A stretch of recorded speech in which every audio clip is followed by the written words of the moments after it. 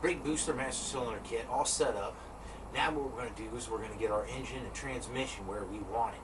Two things you're really want to going to pick up at the same time you get your brake booster kit is you want to get your automatic transmission cross member. What this will do is give you enough clearance for the brake booster to be right here. Another thing I always like to get is the remote reservoir kit. It's a real drag to climb underneath there and check the brake fluid from time to time. So what you do is you get a new cap right here. You get the lines. You get the remote reservoir that you can mount in different places. Sometimes I'll put it in the cap. In this instance, we're just going to put it on the firewall, keep everything nice and simple. So be sure you pick these items up at the same time. You just make your job a little bit easier and your future life a little bit easier too. They even give you all the bolts that come with the transmission cross member. You can't get better than that. With the engine and tranny pretty much mocked up where you want it, we're going to take our transmission cross member and actually bolt it to the transmission. Then we'll go ahead and get our tape measure out and we'll double check to make sure that the transmission's exactly where we want it. We've got a plate underneath the transmission and jacked it up. You'll put your ends on first and then go ahead and bolt it to the transmission. Then we'll get it dialed in exactly where we want it. So I've trimmed about an inch off of both sides. So now what's going to happen is we're going to slide it in underneath the frame like this. So this will be on top of the frame and when we're positioning our engine and tranny we can move it back and forth. Uh, a little something like this.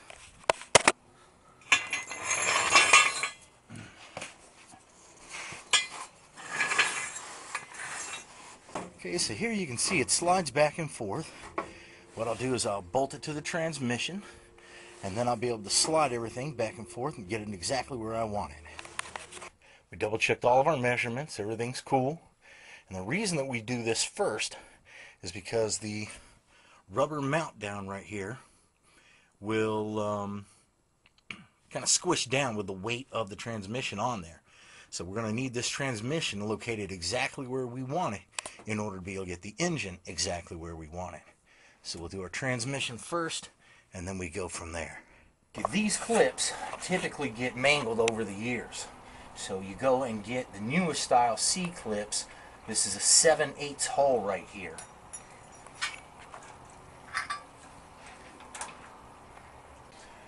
Our brake booster's all mounted up. We've got everything all set. So now what we're going to do is start on our hard lines. But in order to see where our hard lines are going to go, we need to bolt up our front suspension parts. And get a weld-on tab, just like this. You set her on here. You get your clip and put it on.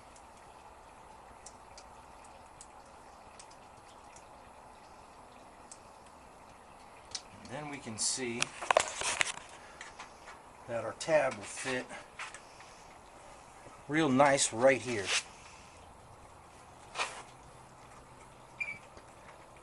Take it up a little bit, make clearance for the lower control arm. So we'll stick our tab right there and then we'll have good clearance for everybody. Brake booster all set up. We've got our brakes all attached and we've got our welded tabs where we want them.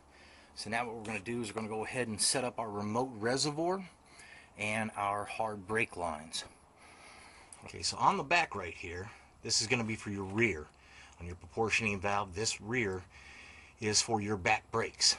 So we'll just do a 90 degree right here and attach it to the brake line. Here on the front, we can run out of the porthole that is either on this side right here, next to the frame, or we can run it on the outside over here. It has a plug that we're going to put on the outer side because it's going to be easier to run our brake line from here, the one that's closest to the frame. So we'll just go straight down here, a 90 degree bend, go forward to our front.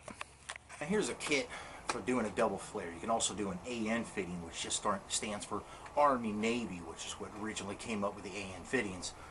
But I just go with the uh, standard uh, double flare kit just because it's nice and easy. You can typically pick this up at the swap meet for a good price or Pep Boys, what have you. First thing we'll do is we'll pull out our pipe cutter and we'll cut ourselves off a section a little bit longer than we think we need.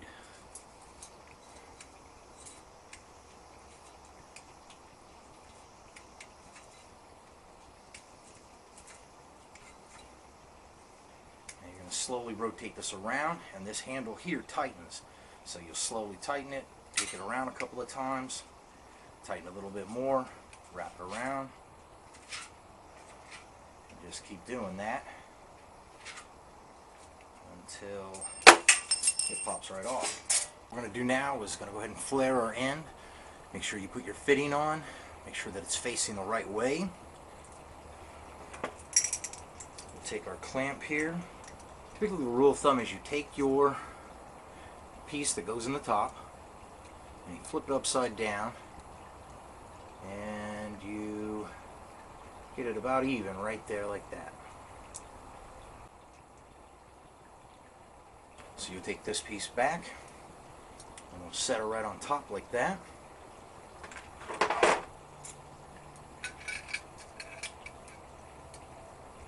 We'll take this right here tighten it down.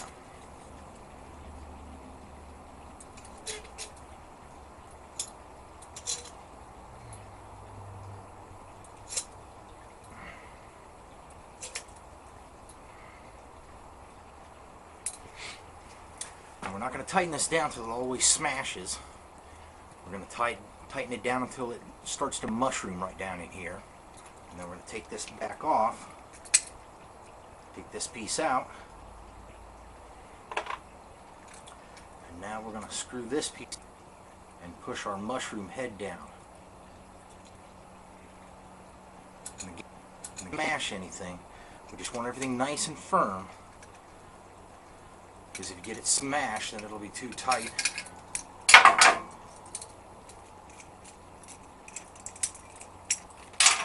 So ideally, you want that when you tighten it down and it makes contact with whatever you're screwing it on, you're screwing it onto, that's when it'll smash down the rest of the way, so to speak. So now we'll take this and turn it into a 90 degree.